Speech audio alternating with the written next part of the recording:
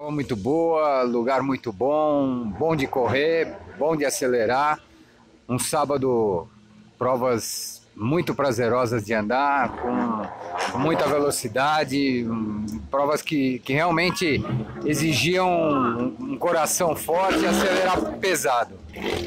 No domingo a prova já mudava um pouco de característica, prova já muito mais perigosa, com muita facilidade de ter acidentes e tivemos um domingo muito árduo, de muito trabalho, muita emoção, muito difícil de completar.